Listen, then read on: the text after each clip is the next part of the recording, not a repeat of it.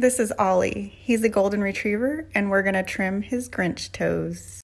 But first, let's admire this adorable little derpy derp face. The first thing you want to do is brush all the toe hair up with your slicker brush. My coworker is using a pair of curved shears that curve with the shape of the toe. I put a link in my Linktree for a safer version of these.